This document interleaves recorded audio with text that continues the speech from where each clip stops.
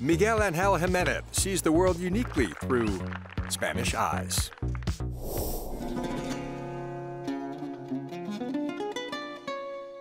His resemblance to a popular character from a television ad campaign led him to being deemed the most interesting golfer in the world.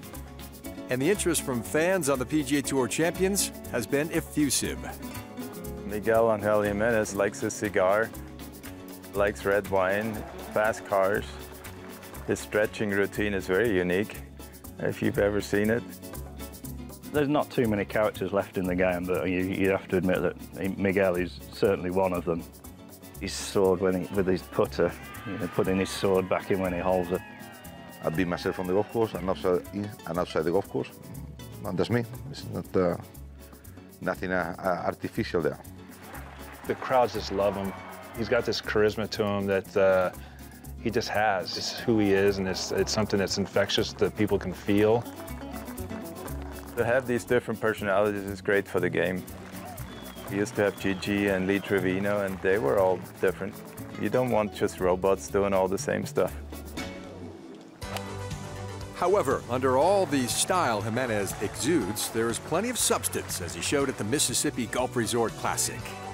He picks up his third win on the PGA Tour Champions in time for Miguel Angel Jimenez to light up that victory cigar.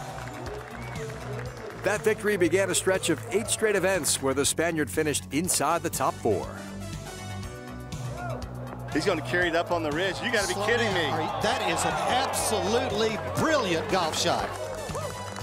He's got the ponytail, he's got the cigar, he's got the wine, and he's got the game as well.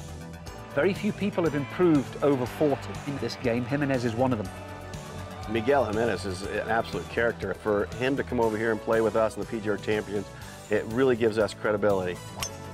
After finishing in sixth place in the 2016 Charles Schwab Cup point standings, Jimenez is excited to continue his upward trend on the PGA Tour Champions and live his unique, charmed life. I love what I do. I love that. I love to compete, and I, uh, I feel nice when the, on the golf course. Anytime I go, I got golf club in my hands, and, uh, and the competition, you know, it's, it's, it's nice.